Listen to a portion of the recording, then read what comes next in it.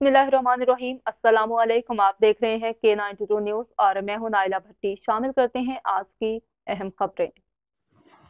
कराची से खबर शामिल करती हैं फातमा बलोच की रिपोर्ट के मुताबिक, कराची में रेंजर्स और पुलिस की मुश्तर कार्रवाइयाँ तेज करने का फैसला। कराची में स्ट्रीट क्राइम और कत्ल के वाकत के पेश नज़र रेंजर्स और पुलिस की मुश्तर कार्रवाइयाँ मजीद तेज करने का फैसला कर लिया गया।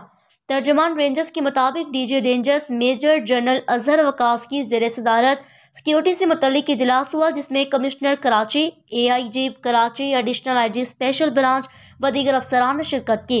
अजलास में न्यूजीलैंड क्रिकेट टीम के दौरा के पाकिस्तान और कायद अजम डे पर सिक्योरिटी सूरत हाल का जायजा भी लिया गया। डीजी रेंजर्स के जेर सदारत में फैसला किया गया। शहर में रेंजर्स और पुलिस के मुश्तर ऑपरेशन को मजीद तेज किया जाएगा, जबकि शहर के दाखिली व खारजी रास्तों पर सख्त ट्रैकिंग की जाएगी। तर्जुमान ने बताया कि इजलास में सिक्योरिटी को फुल प्रूफ बनाने के लिए मुश्तर लाहेमल मंजूर किया गया।